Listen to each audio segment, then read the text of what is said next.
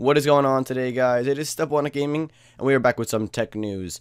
And today we're going to be talking about Ampy. And Ampy is a battery that captures your kinetic energy to charge your USB devices.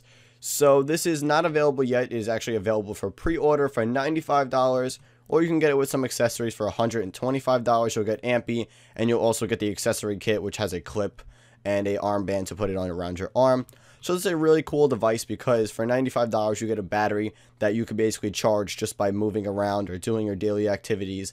And they also have created an app that will allow you to track the calories that you have burned, your carbon footprint offset, the minutes of battery life you generated, and it also has Twitter and Facebook capability. So this is a really cool thing. You know, there's many ways to use it and benefit from it. So if you're someone who's very active and you do a run, you know, every morning, you might as well just bring this with you, and you could uh, charge your smartphone without without having to, you know, pay for the electricity. So it's a really cool device.